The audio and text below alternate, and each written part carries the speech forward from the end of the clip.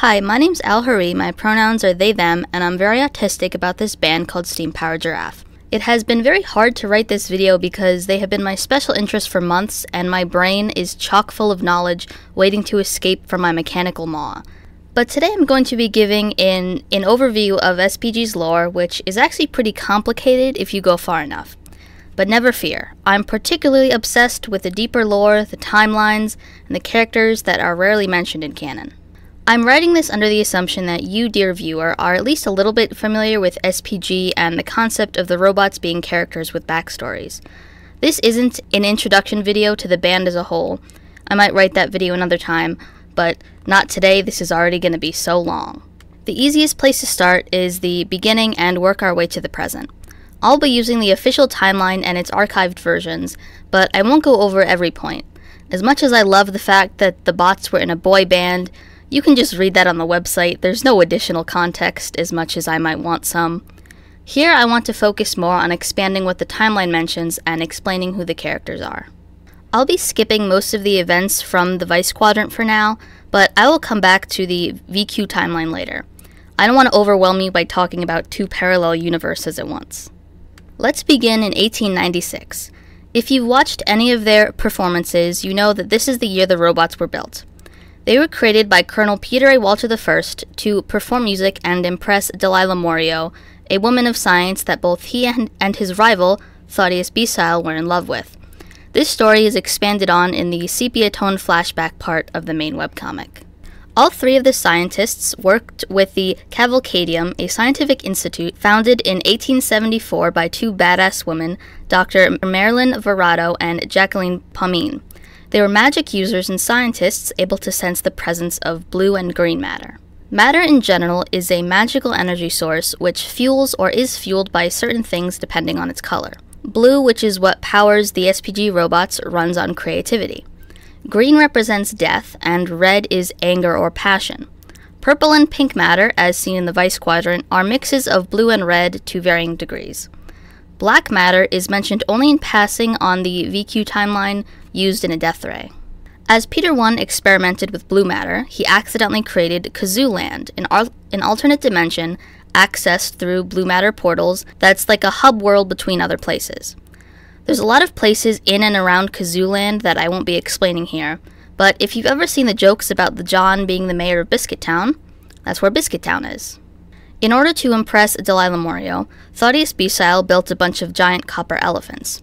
Unfortunately, she fell ill and passed away. An unspecified amount of time later, Thaddeus used green matter to resurrect her. As soon as she wakes, she becomes a vampire and kills him, which, honestly, good for her. Later on, she cures her vampirism and becomes a wraith hunting vampires herself. Before his demise, though, Thaddeus instigates the Weekend War, Reports are made about copper elephants attacking rock candy mines in Africa, and Peter 1 is asked to stop it.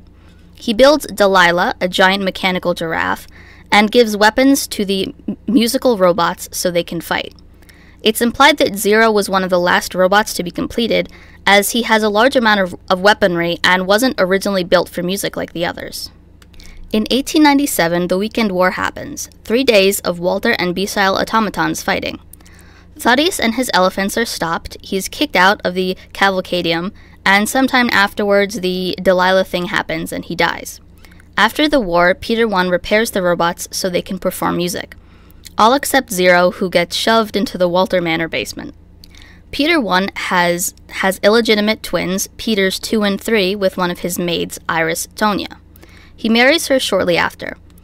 Now that we're getting into the Walters, I'll start showing a family tree whenever it's relevant because there are a lot of Walters, and honestly, sometimes I still have to look at the timeline because there's just so many of them. Before we enter the 1900s, I'd like to mention the brown suits, only because they're so wild to me.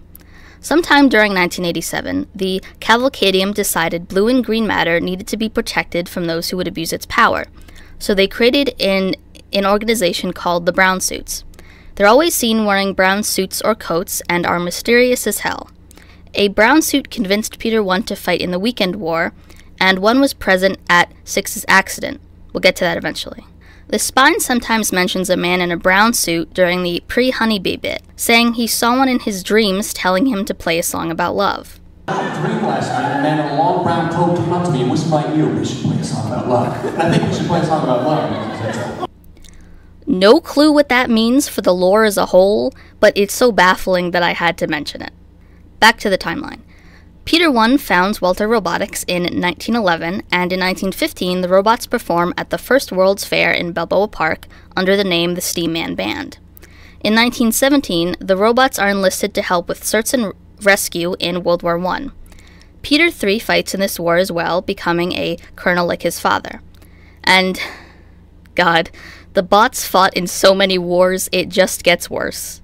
That same year, the the Cavalcadium, which had been headquartered in Balboa Park, disappears from Earth and moves to Kazooland after a failed blue portal incident. The 1920s is family tree time as Peter II marries Mary Mickelson, a farm girl from Virginia, in 1923. He has two children in 1924 and 26, respectively Mark Ray Walter and Wanda Walter. They have their last child, Peter Walter IV, in 1937. In 1938, Walter Manor was hosting a gala when it was discovered Hatchworth's core was fractured, causing malfunctions and leaking blue matter. Peter II locked Hatchworth in a vault intended to be temporary until a solution was found, but he isn't actually released from the vault until 2013, over 70 years later. In 1941, Rabbit, the Spine, the John, and Upgrade serve in World War II. Upgrade was a nurse, and the others assisted on the front lines. They returned home in 1945. Unfortunately, while they were away in 1942, Peter I died in his sleep at the age of 78. It's unknown when Iris died, but I've always assumed that it was some time before this. Peter V is born to Mark Ray and his wife Judith in 1947. Judith dies during childbirth. Later that year, Wanda marries Professor Guy Hottie, a person we know nothing about besides the fact that their name is Guy Hottie. Okay, 1950. Are you ready? This is the big one. Ignatius M. Beisile and Dr. Norman Beisile, assumed to be sons of Thaddeus Beisile, kidnap Rabbit for her blue matter core and mess with it. Peter II, Peter III, and Guy Hottie break into the Beisile lab to stop this and are caught in a giant explosion that rips through space time, creating a portal above Earth as well as the parallel universe Omega. We'll return to Omega later. As a result of the explosion, Peter II and Guy Hottie are vaporized. Peter III suffers a stroke, and Ignatius's right arm is paralyzed. Norman is transformed into his current body and experiences a traumatic brain injury that gives him an unspecified cognitive disability. At some point between this incident and 1956, Norman moves into Walter Manor. A year later, in 1951, Mark Ray dies in a freak car accident that is sort of implied, sort of headcanoned to be caused by the Beisiles. Peter V, his son, is taken to an orphanage at four years old. In 1955, a desperate Peter III makes a financial deal with Ignatius, and Peter IV joins the Marine Corps. It's unknown if those two things are related or even what the terms of the deal were. 1956 brings the New Pennsylvania World's Fair, commonly stated as being the fair that Clockwork Vaudeville was written about. The spine was a featured robot, having new human like upgrades to his face. His makeup from when the band first started is this human upgrade, and he reverted back to his more mechanical look in 2013 when Hatchworth joined. Ignatius is arrested for conspiring against Peter III, with Norman testifying against him. Three dies shortly after, presumably from complications related to the 1950 incident. Peter V, only nine years old, inherits the manor and moves in with Wanda and Norman. 1962. Vice Quadrant stuff really kicks off here. I won't go too into detail yet, but this is when Peter IV becomes Commander Cosmo. Hey, guess what? Another war happens. It's 1965, and Rabbit the Spine and the John serve in the Vietnam War. They go missing mid combat, and that's terrible. My gods. At least Upgrade doesn't serve because she's a hippie now, canonically dodging the draft. Good for her.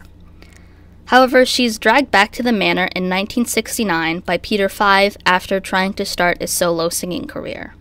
The robot's broken chassis are returned to the manor in 1973. Eight years later, I really can't deal with this sometimes. They were missing and broken for eight years. Anyway, they're all repaired in 1974 and start touring again. Peter 5 develops QWERTY in 1983 to be the robot's operating system.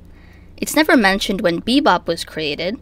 I've always assumed that he was made alongside the robots in 1896, but that's up to you. 5 marries Annie Burnett and has Peter 6 in 1986.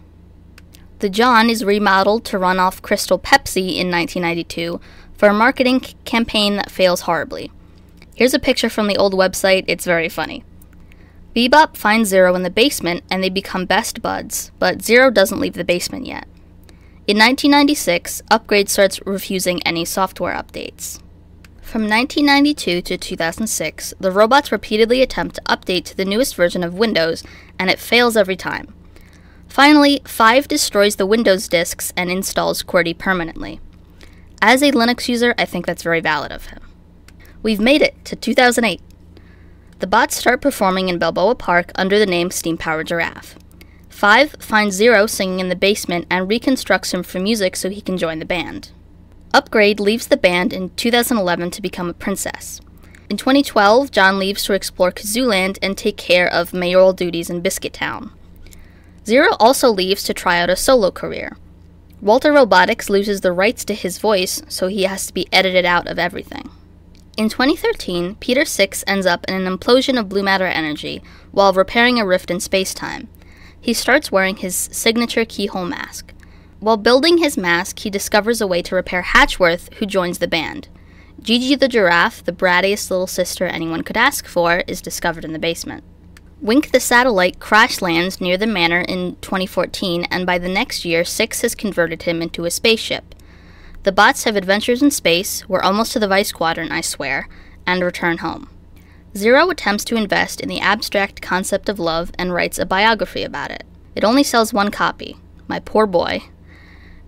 In 2017, Hatchworth leaves the band to try gold fishing, whatever that means, and Zero officially returns from his solo career. And that's it. We're at the present. Six is the CEO of Walter Robotics, living in the manor with Five, Annie, Wanda, Norman, and the robots. Some loose threads. Buster Besile is born at some point, presumably Ignatius's son, because Norman is at the manor. Speaking of Norman, at some point between 1950 and 2017, he marries Wanda. This is implied because in 2017 she's referred to as Wanda Besile.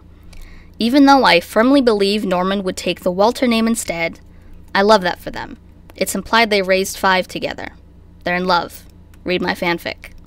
Okay, I hope that wasn't too mind numbing because it's time to talk about the Vice Quadrant. Everything that I've just gone over happened in SPG's equivalent of our world, known as Universe Prime. The 1950 incident created the parallel universe Omega, where certain things are different. You can see everything important side by side on the official timeline, but I'll explain it here too. When Rabbit's core exploded, it created a portal in the sky above Earth. In 1962, Peter 4 is the commander of the spaceship known as the Cosmo, which explodes when a blue matter beam hits it. 4 is also hit with the energy, which gives him superpowers and he becomes the hero Commander Cosmo. In Omega, the ship is missed by the beam, and 4 researches the portal to advance humanity's progress and create a technological revolution. Instead, the beam hits a, Ru- a Russian space probe carrying human DNA, creating the Daughter of Space, also called Cosmica. Omega 4 is aboard a space militia ship in 1964 when it catches on fire. He survives but witnesses his crew members die. This is what Fire Fire is about. Two years later, in 1966, Cosmica accidentally destroys his squad ships while he's on a patrol mission. He's saved by Cosmica and she brings him deeper into space, becoming the astronaut. Meanwhile, in Prime, Commander Cosmo has been a superhero for the whole of Earth, fighting off various threats space pterodactyls, Martian tripods, spider demons, sky sharks, alien ghosts, Dr. Blight, the Starblood Beast. He saves the day over and over. In 1988, he enters a portal called the Achilles Rift, which brings him into Universe Omega. Extremely depressed, he seals himself in a star and hopes it will kill him, which gives life to the Necro Star. He starts fighting to destroy it, both of them trapped inside the star. After Cosmo leaves th- through the rift, Jumbo the space whale closes it and destroys 10 solar systems in the process. A few years later, in 1992, a little Peter 6 senses a cosmic disturbance and starts the WINK project, Wandering Intelligent Navigational Knights. They're sent off into space. One of them finds the Green Apple planet being eaten by a space giant and returns home to ask his creator for help. In 2014, the Sky Sharks attack Earth once again, but this time Commander Cosmo isn't there to save the day. The robots set everything on fire instead. Wink crash lands and, be- and begs the robots for help, so Six starts turning him into a full spaceship. Wink's upgrades are completed in 2015 and the bots head off into space. They confront the space giant, who turns out to be an SPG fan from Universe Omega. It leaves the Green Apple alone after hearing a few songs. Wink chooses to stay with the Green Apple planet, so the bots head home, spotting space whales on the way. Unbeknownst to the bots, the whales are fleeing the Vice Quadrant because of the Necrostar. The bots get home, but that's far from the end. The majority of VQ's juicy story happens in Universe Omega, where last we left off in 1988, Commander Cosmo was fighting the Necrostar. Jumbo, mentioned before as closing the, the Achilles Rift, is a time guardian and also a giant talking whale. He finds Cosmo and the Necrostar fighting inside the star and jails them both in an interdimensional prison. As this occurs, the Necrostar is reaching across time and space to influence things, creating many of the monsters Cosmo fought back on Earth and even getting the space giant into SPG. It's 1994 back on Earth, and all nations have united for world peace and reaching out into the stars. Many settlements are made all over the solar system, from the moon to Jupiter. The VQ timeline jumps over a century to 2185. Ravaxis Starburner, alien descendant of Rex Marksley and captain of the SS Alexander, blows up the Necrostar and frees Cosmo from prison. This also frees a fragment of the Necrostar. Oops. Meanwhile, the astronaut and Cosmica are destroying a moon base, as seen in the song Oh No. Commander Cosmo teleports Cosmica away, which kills the astronaut. Unfortunately for literally everyone in the universe, the Necrostar fragment that escaped prison finds the astronaut's corpse and lashes on, turning him into the Necronaut. He starts preparing to conquer Earth, foreshadowings of which we can hear at the end of Quintessential and 1896. And, well, that's it. We'll have to wait for the seventh or maybe the comic to see what happens next with the characters of the Vice Quadrant. Hopefully, this info dump was informative or at least entertaining. If you have any questions or corrections, please leave them in the comments. Subscribe and do all that YouTube stuff if you want. You can tip me on Ko-fi if you like my work or want to commission me to draw silly robots. Uh, you should support the band on Patreon too. See you later. Hey, Uh, what? hey, Alice, hey, Oh, hi. could I perhaps talk about the robots now? No, I told you you can do that next week. Uh, anyway, bye everybody.